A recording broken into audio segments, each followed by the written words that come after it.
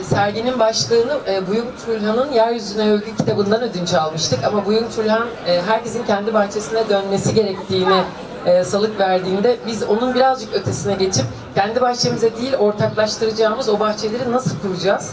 Hiç kimsenin hayaline hiç kimse ortak olamaz ancak bir arada yapacaksak bu olacak.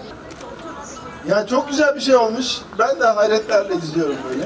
Ama ben başka bir paralel evrene dair bir şeyler söylemek istiyorum.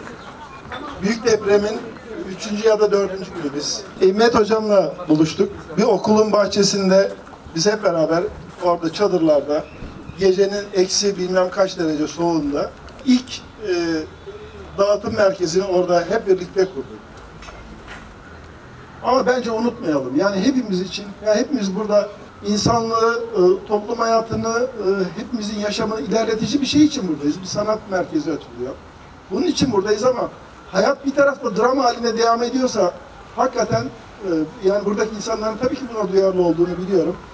Ama bence biraz daha gözümüzün, bir gözümüz orada olsun. Ne? Burası için de bir şeyler söylemem lazım.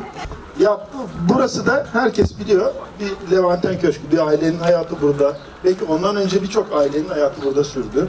Ee, biz buradaki hayatın hep bir öteki olarak belki bu insanlar var oldu. Kendi kabuklarında yaşamak zorunda kaldık belki.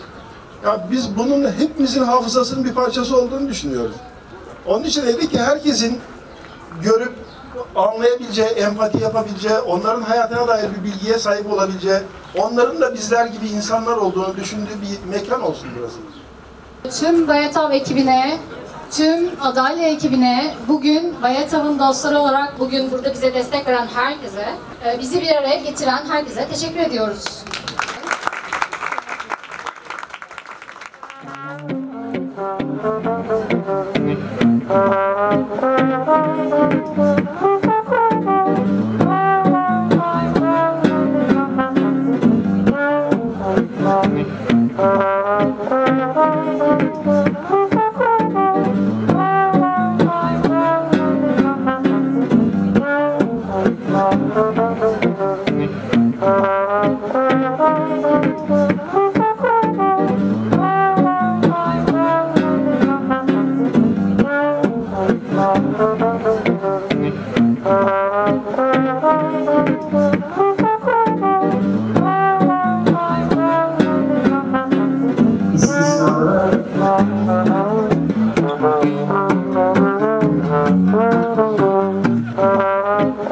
Oh, oh, oh, oh.